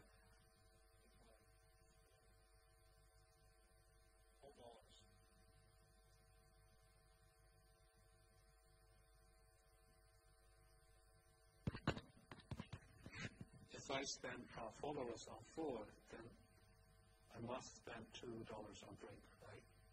So accordingly, actually this probability is zero. So this uh, so from this actually we can see x and y cannot be independent. Why is so? Because uh, if we consider the joint the joint distribution, the joint distribution at this point is zero. However, the marginal probability for x takes 4 is not 0. The marginal probability of y takes 1 is not 0 either, right? So maybe you can just check this a single point. For this single point, as I said, the joint probability is 0. But at this point, the marginal probability that x takes 4 is equal to the the sum of this row, which is one quarter, right? The probability that y takes 1 is sum of this column, which is 0.6. So, point, so 0.25 times 0.6 is not equal to 0. And because of this, the joint, uh, the joint probability is not equal to the marginal pro- uh, the product of marginal probabilities. Then this one cannot be true. Right? At least at this point. Then, which means that x and y are not independent. Right?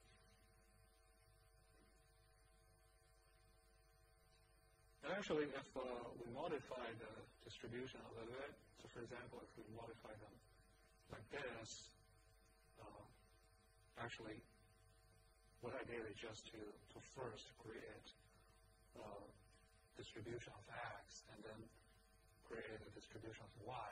And uh, I intentionally made the joint distribution equal to the product of them. Then if you check that, they become independent. In this case, it's okay.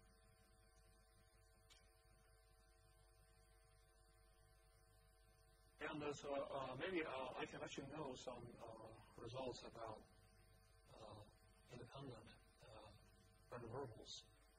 So uh, for some some distributions we are already uh, familiar with. So for example, if we have uh, uh, two random variables, two independent normal random variables, x and y, and suppose that the expected values of them uh, are mu x and mu y respectively, and the variances are sigma x squared, sigma y squared, respectively.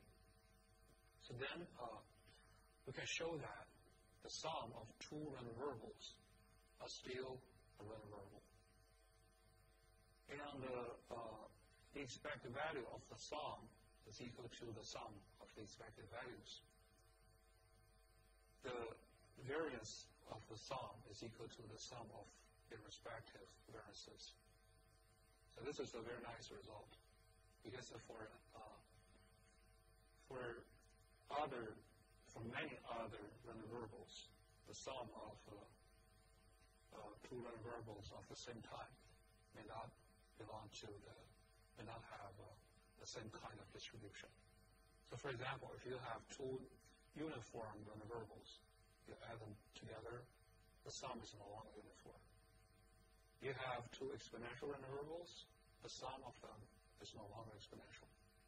But for normal variables, it is very nice. The sum of two variables, two normal variables is always normal. Right? So I will prove this result, and uh, you can check the textbook if you're interested in the proof. And another result is like this. Uh, suppose x and y are two independent binomial variables. And the parameter of them is, uh, for x is n and p, the parameter of uh, y is m and p. So let, us think of this. What, what, does it mean? So what is a binomial variable? So like I said, binomial variable means, uh, for example, x. This x means you flip a, a coin that shows has with probability p, right? You flip n times. Then the number of has is this x. It follows binomial distribution. And you flip this same coin, p. You flip n times. The number of has among those m flips is this uh, y. It's binomial variable y, right? And uh, uh, according to this interpretation, actually, I think you can cl clearly see that the sum of x and y must also be a binomial variable, right? Why so? Because x means the number of has among your flips. This y is the number of has among your m flips. You flip the same coin. This coin shows up has with probability p, right? See that p is the same for two random variables. As long as they're the same, then what is x plus y? It means that you flip the coin m plus n times, which is the number of has among those m plus n flips, right? In this way, you see the sum of x and y must also be binomial variable, and with this parameter. But of, of course, this is only an argument. This is not a proof. If you wish to prove this, you need to show that so the, the distribution of x plus y, where the probability mass function of that must follow the expression for binomial distribution, right?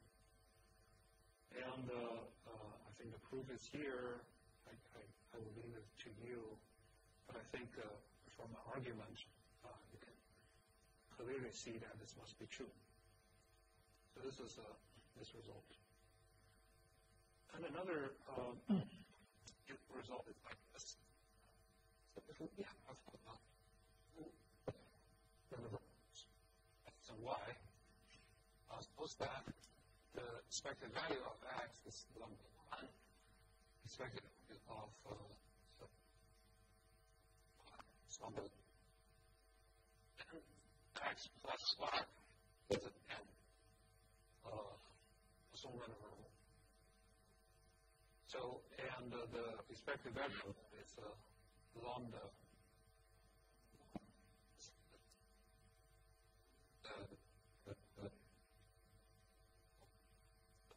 the variables uh, one of the. So then uh, the question is uh, how to understand this. Actually, you may you may realize that this result is uh, closely related to this result, right? So why is so? Because uh, how do we the little coin gets small and is large, right? N times p is equal to one. The and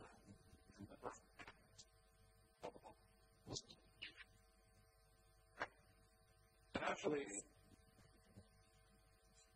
you can you can compare this result with this result.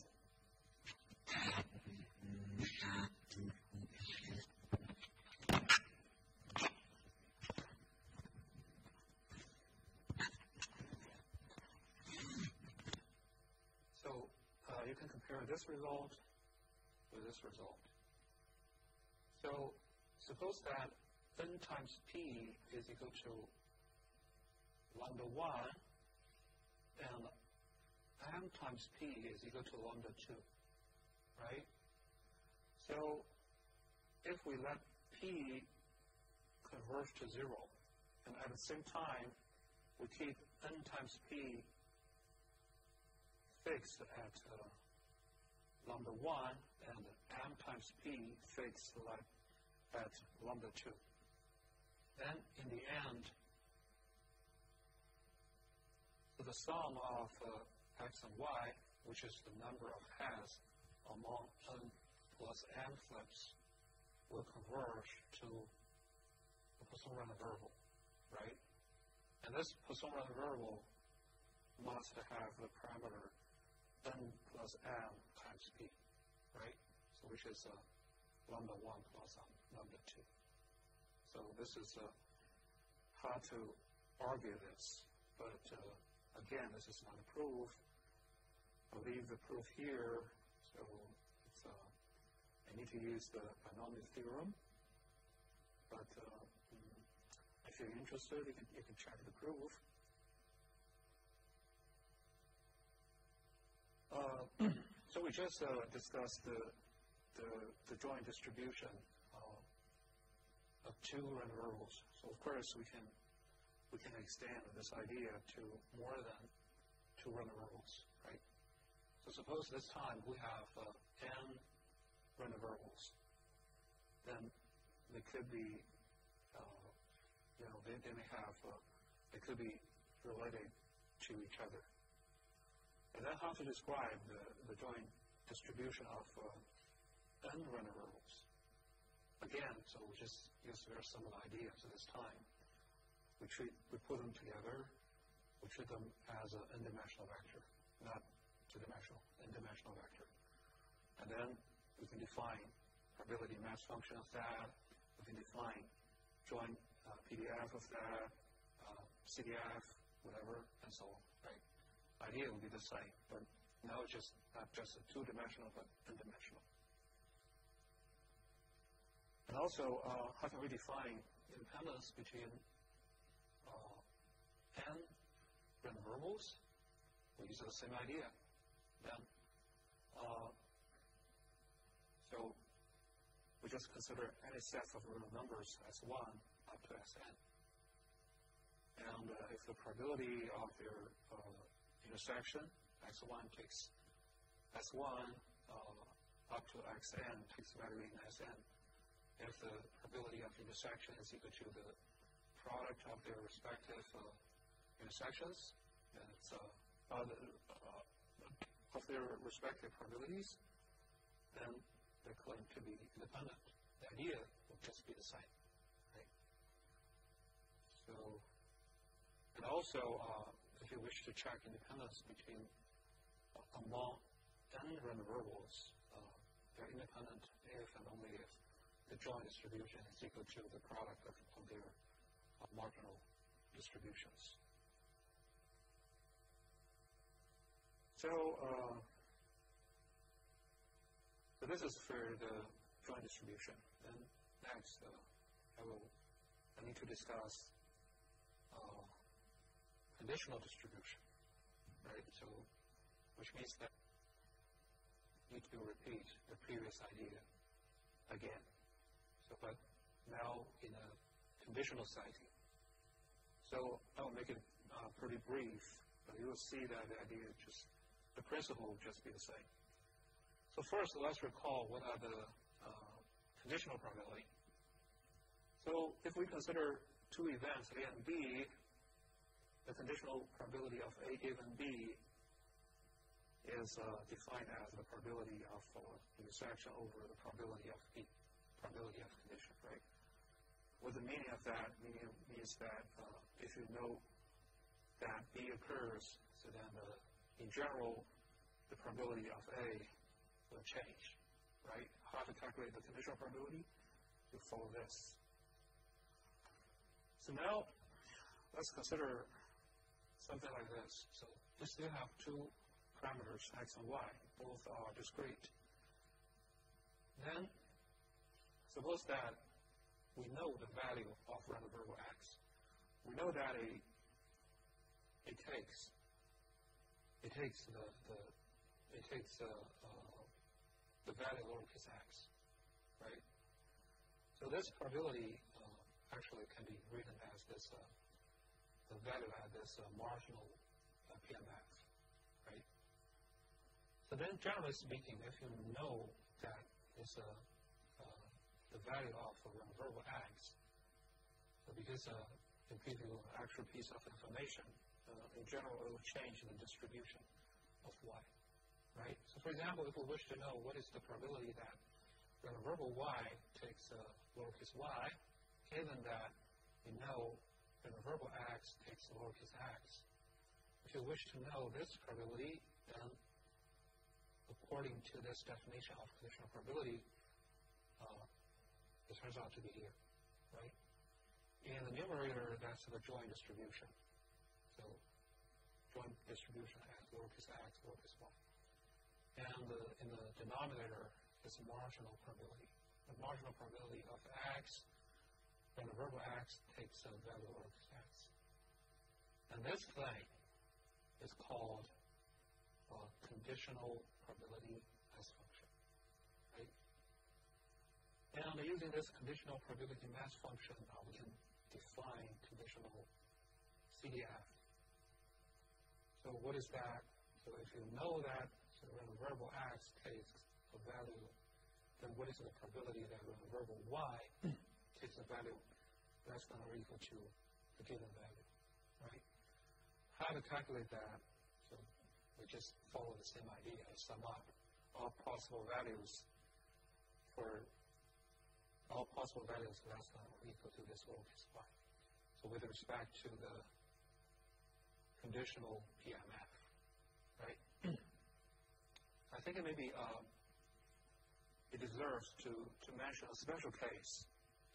According to this definition, so this uh, conditional PMF is defined like this. Suppose that x and y are independent. If they're independent, we know that this uh, joint probability should be equal to the product of their marginal probabilities, right? Is equal to this. If this numerator is, uh, is, is like this, so then so this part can be canceled out with the denominator. So in the end, so at the right-hand side, we have this uh, unconditional marginal uh, probability, right?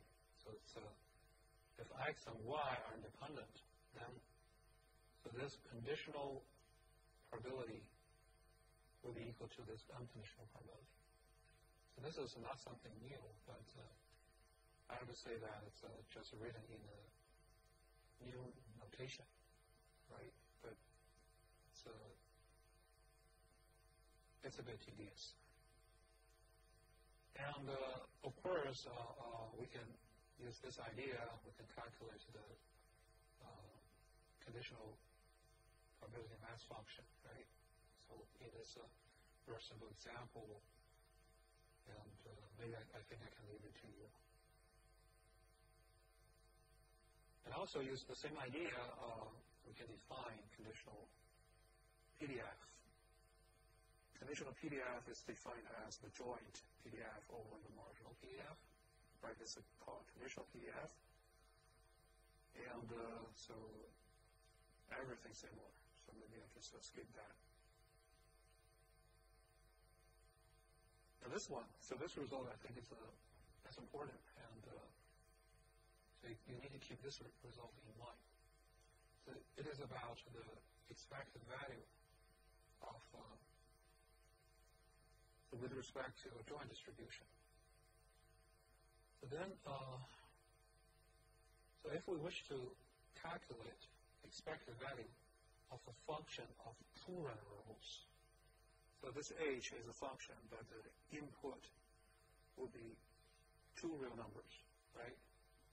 So h of uh, x and y, how to calculate this? So the idea, again, will be very similar to what we discussed in the past. If x and y are discrete, then what we need to do is just to uh, consider each possible value, the pair of these two random variables may take. So again, because uh, here we have two random variables, we need to consider them together. Then if we treat them as a two-dimensional random vector, then this uh, random vector may pick different values. The values are just a, a pair of random variables, uh, a pair of real numbers, right? we just uh, consider all possible points, and at each point, we evaluate the value of this uh, function as h of the lowercase x, lowercase y, times the corresponding probability. So in this case, it's a joint probability, right? And sum up over all possible values. Then we have this uh, expected value of this uh, function of two random variables right? So you see that an expression, the idea, just the same. And uh, correspondingly, if uh, those two random variables are both continuous, how to calculate this? We just take double integral, right? Because uh, now it's a two-dimensional case, double integral. So both from minus infinity to infinity, and, uh, and each pair of uh, values. So we evaluate the function times the corresponding uh, density joint uh, PDF and take the integral. So that's the, that's the idea. And uh, I would also uh, mention some useful results. And we, we uh, I think uh, you will use them frequently. The first result is that if x and y are independent, then the expected value of the product is equal to the product of their expected values. So that's the first result. If you wish to prove that, I think it's not difficult. Uh, you can, can try to do that by yourself. The second result, I think it's, a, it's, not, it's not a new one. If x and y are independent, then the, the variance of the sum is equal to the sum of their variances, right? Because uh, actually we used this result multiple times, but I wish to remind you of this. So maybe uh, let's uh, think of a, a question like this. It's a simple question. If x and y are independent, we know that the variance of the sum should be equal to the sum of variances. But what is the variance of uh, x minus y. What is that?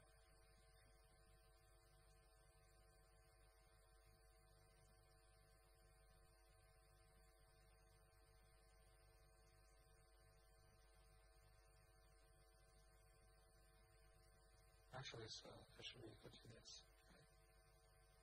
Why so? Let me, let me, show you.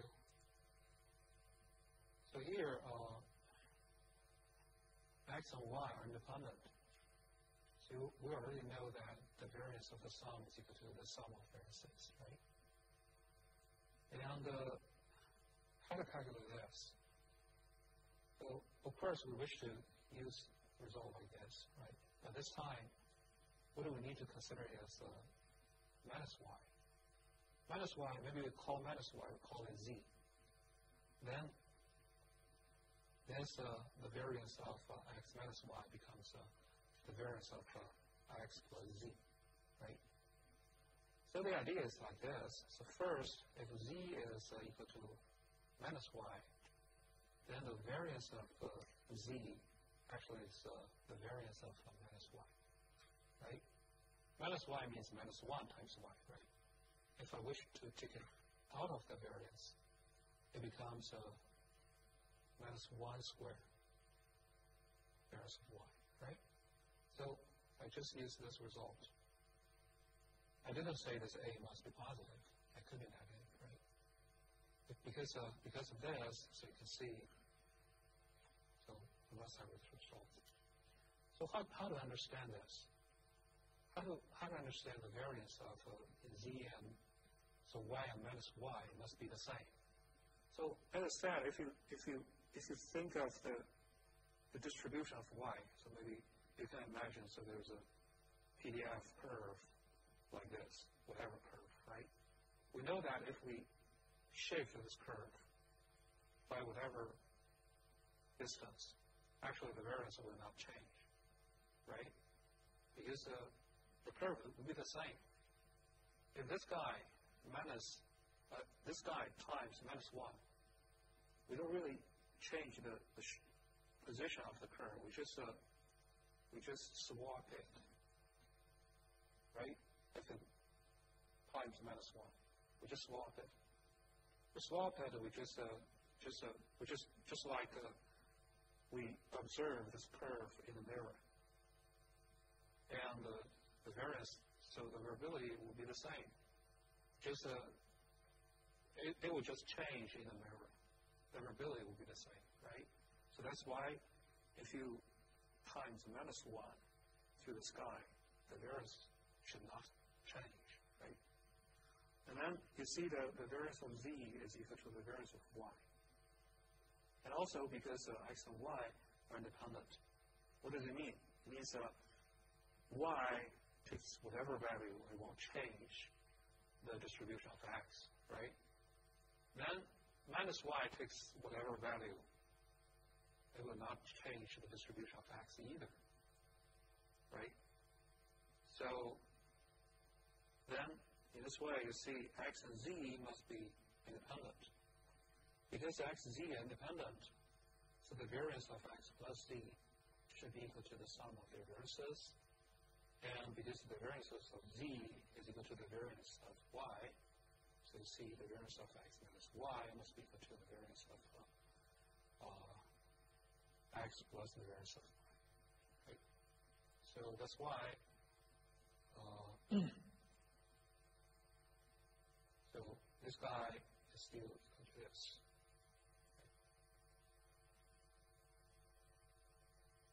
So, and also there's an exercise uh, for, for finding the expected value of the song. I think it's a very simple. Let's give it. And uh, there's another uh, important result. So we have two independent variables, x and y. So then for an arbitrary functions g and h, the expected value of uh, g of x times h of y is equal to the expected value of uh, g of x times the expected value of h of y. So this is a, another very important result. How to understand this?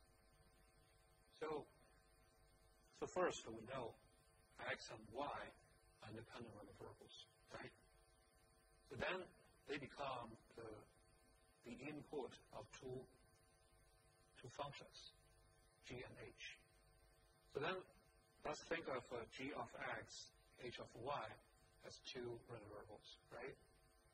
So because the x and y are independent, which means that no matter what value x takes, it won't change the distribution of y, right? Then this x is just the input of g. So then, no matter what values this g of x takes, it won't affect the value of y. And as a result, it won't affect the value of h of y, right? Because of this, we just need to use uh, this result. Because uh, g of x and h of y should be independent, then the, the expected value of the product should be equal to the product of their respective expected values. So of course, this is a this is just an argument. If you wish to prove this, how can we do that? I think this one uh, this one may deserve a, a, a bit discussion. So maybe I, I, I will follow the I, I will will briefly uh, go over this uh, proof. So here, let's consider uh, the case that both x and y are continuous uh, random variables, and they have a, joint uh, PDF, is 1 plus f, right? If we wish to calculate this expected value of g of x times h of y, and actually because uh, we can we can take this product as a function of uh, x and y, right? The product as a function x, x and y. So we can use this, uh, this formula. So what do we need to do is take a double integral over the entire plane, right? At each point, we need to evaluate this uh, function.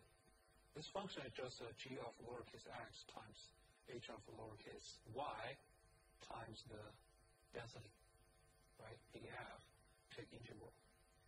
And here, uh, I think the important part is that you need to realize that because uh, x and y are independent, so the joint PDF is equal to the product of their marginal PDFs. So we have this one. And because we have this one, actually you see that the variable x and the variable y are completely, kind of completely separated, right? We have a double integral so the first, uh, the first integral is with respect to x, and the second one is with respect to y. But because uh, so they can be separated, we can we can we can do the integral separately, right? So for the for this thing, we just uh, organize uh, everything with respect to lowercase x together, and take this integral, everything about y together, like this. So then you can see that the first integral is exactly the expected value of g of x, and second one is the expected value of h of y, right? So you must have this result. This result.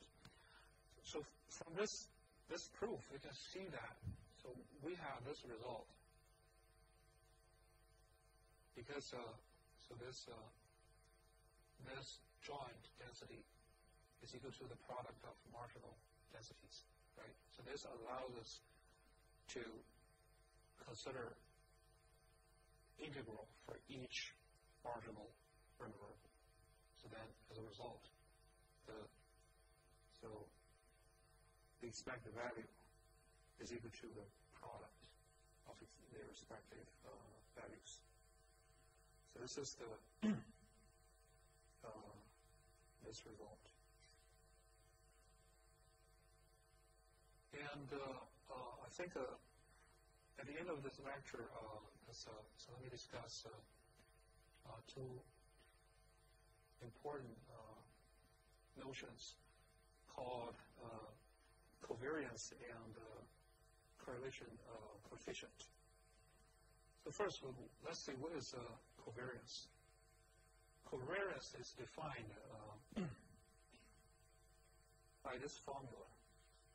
So we consider two random variables, x and y.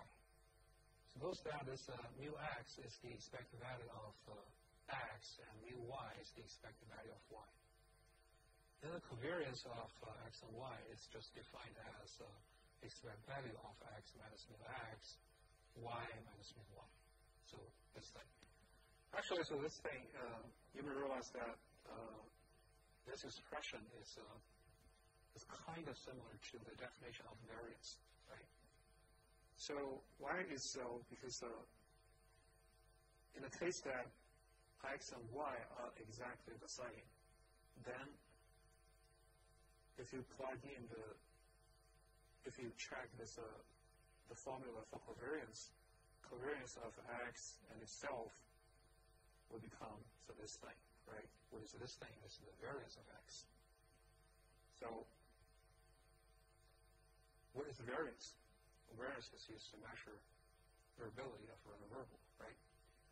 So then, what is the covariance? Actually, uh, so later I will discuss. It will be used to measure whether those two random variables tend to change together, values together. So before I, I discuss that, actually, uh, I would like to know that there's a shortcut formula for computing uh, covariance, and this formula is uh, quite similar to the formula to the variance. So covariance is equal to the expectation of uh, x times y minus the product of their uh, respective uh, uh, expected values. So, uh, and also, if you check this uh, expression, uh, I think it's a it's not difficult for you to prove. so this property is called linearity. So covariance of a times x and b times y, and you can take AB out of the uh, covariance.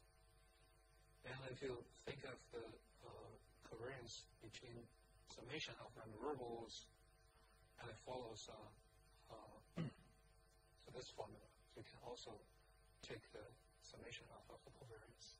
Right? So that's uh, simply because of the linearity of the expected values expectation.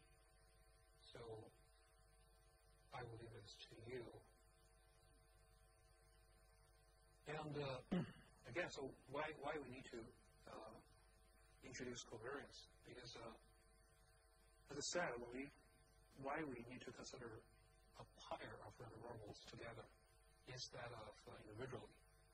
Because we know that we need to capture their relationships. Sometimes, so they, they tend to, if you know the outcome, they may have, uh, they, both of them may, may have a bigger value. And uh, sometimes uh, both of them may have a smaller value, or something like this. So which means that if you know the value of one random variable, then generally speaking, the distribution of another uh, random variable will change, right? But how to describe the, the relationship? If you know x would take a bigger value, then in this case, would y take a bigger value or smaller value, right? And the covariance is used to is used to describe so, such a tendency. So let's uh, check the the, the definition of covariance is defined in this way, right? So suppose that if x and y tend to be large or small together, so which means that, so when they take values, they, they, they tend to take values in the same direction. If x is large, y tend to be large. Just, just like my example, so the example of, uh, of my daughter, right? X is my daughter's weight and Y is my daughter's height. If X tend to be big, Y also tend to be big, right? So in this case, if you plug in X and Y into this expression, if X is bigger than the expected value, if they tend to change together, then it is very likely that y is also bigger than its uh, expected value. In this case, so this product would be positive, right? If they tend to change together, which means that if x is smaller than expected value, y also tend to be smaller. In this case, this is negative, this is negative. The product of them tend to be positive right? So then you can, you can see that if both x and y so tend to take value in the same direction, which means that tend to be large or small together, then this covariance tends to be positive, right? so we just use this uh, covariance so to capture such a tendency. If the covariance is positive, which means that x and y tend to be large or small together. And conversely, if they tend to change in the opposite direction. So which means that when all one of them is positive, the other one should be tend to be negative. So in this case, the product should be negative. And as a result, the covariance should be negative. Right? So the covariance, when the covariance is uh, negative, so it means that those two random variables tend to take value in different directions, opposite directions. When x is large, y has to be small. When x is small, y has to be large, right? so, uh, and also, um, I will let you know the special case. When x and y are uh, independent random variables, then the covariance of them should be equal to zero. So why is so? Because uh, uh, by the definition, covariance follows this formula. And because x and y are independent, so the if we treat this guy and this guy are two functions, then the expected value of the product should be equal to the product of the respective expected values. Then we should have this result, right? And we know that each one is equal to zero. So this is this must be zero. If x and y are independent, the covariance must be equal to zero. Why is so? Because as I said, independence means no matter what value x takes, it won't affect the distribution of y, right? In this case, they have nothing to do with each other. So they won't change together, either the same way or opposite way. So in this case, the covariance must be equal to zero. So, however, uh, we may need to think of uh, a question like this.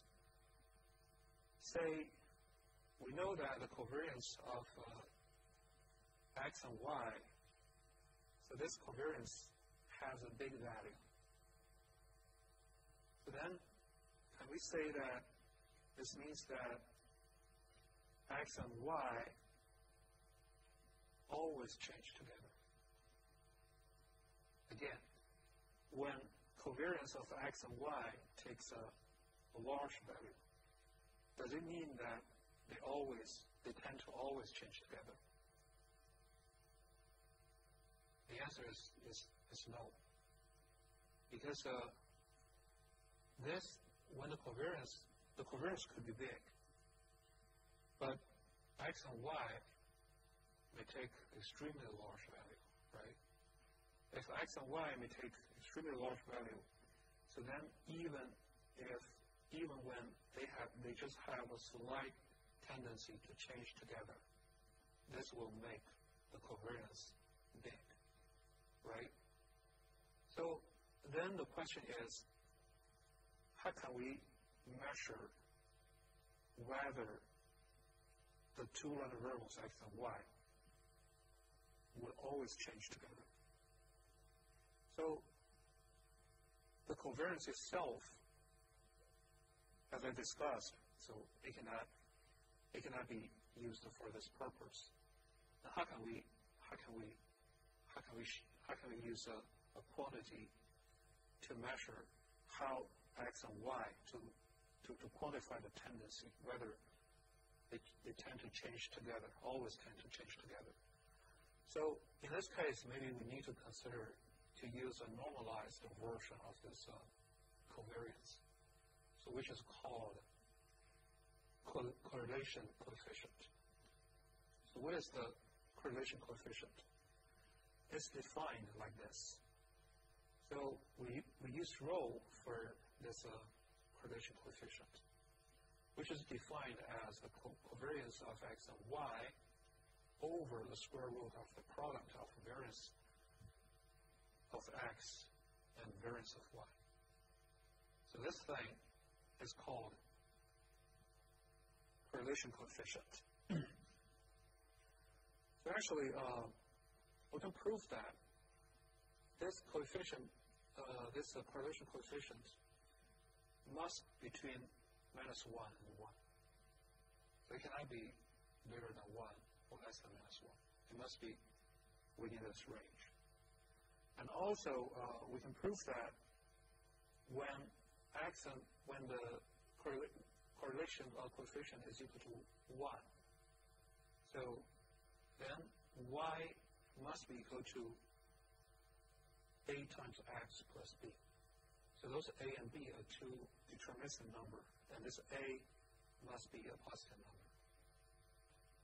So you see that, so if the correlation coefficient is equal to 1, y and x must follow a very simple linear relationship. And uh, this coefficient a must be positive. In this way, you can see that they mustn't change together, strictly together, and also in a linear way. Right? This is the only case that rho is equal to 1. And if this rho is equal to minus 1, so which means that y and x also follow a strict uh, linear relationship. But this time, this a must be negative. So because of this, you can see that if a is negative, then when x is large, y must be small, right? It must change strictly in the opposite way, right? So this is the uh,